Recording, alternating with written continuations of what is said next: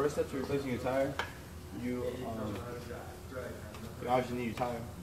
Uh, you must mount it onto the machine. Always use your legs, not your back, to avoid injury. You place it and then you push it onto machine. You hold on to the lever on the left so the clamp can open up. Hold on to the tire. Remove the air from the tire. Use the valve core remover tool to remove and let all the air out. Now you want to remove any weights that are attached to the tire. So like, see there's one right here. Another over here. And Come on.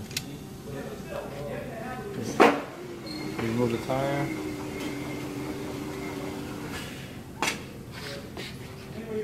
You check on the other side. If there's any weights. And there's one right there. Take it off here like this, and put it like this, here you are. It's a hundred eighty degrees off, why do that? Work straight. There you go. You have to bring it down to a bead shovel, or you have to break the bead.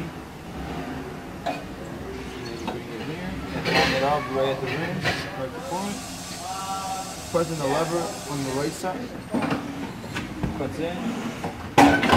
See? Why would you park it that way when you got a little running, where I told you, come in this door, you come up and stand out if you're running. Right, do it there, take right off. There. As you can see, it's good on both sides. Then you turn it around.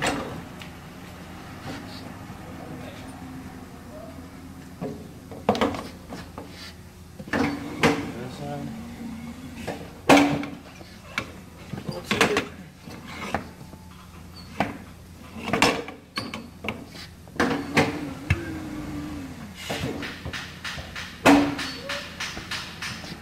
there you go, there's now a gap you can use.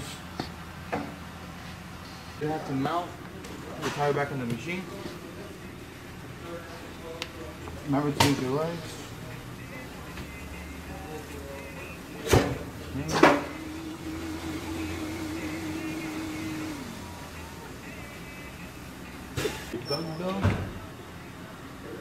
Remove the tire, so then you got the, the rim.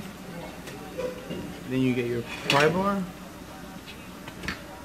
Then you have to wedge it in between the rim and the tire and bring it over the back door.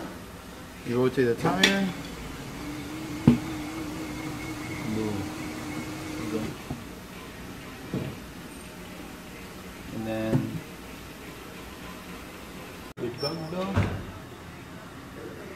The tire, so then you got the, the rim.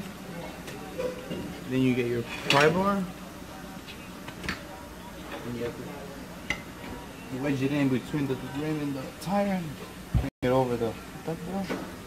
You rotate the tire.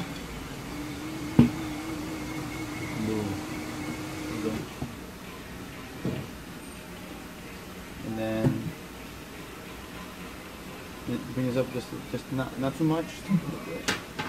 Just like at the bottom.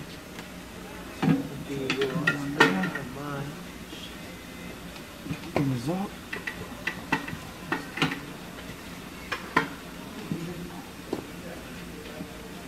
You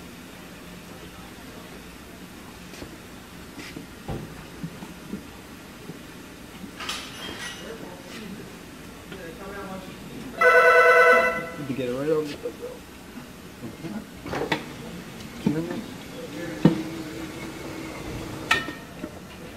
And now the tire's removed. Raise the duckbill. After you remove your tire, you get your wire brush. And you just screw the sides of the, of the rim, the edges.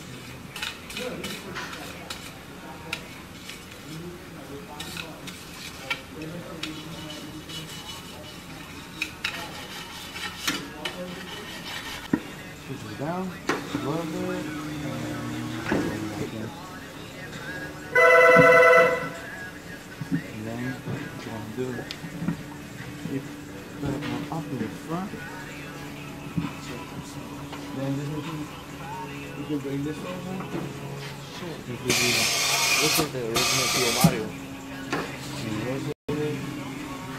Oh shit! Are you recording I the thought I thought I lubed it. Now after the tire is gone, and you got oh, of course screwdriver. Put it back in there. You tighten it back up.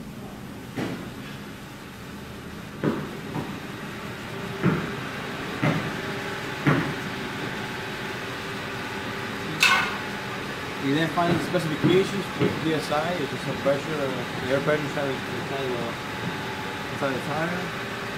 And then just inflate it to its specifications. I'm gonna get to hold this up.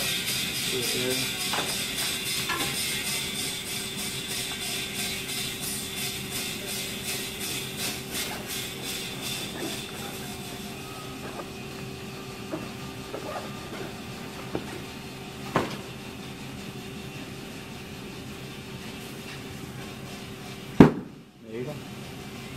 And there's your reading gauge back there. And you just plate it to the PSI.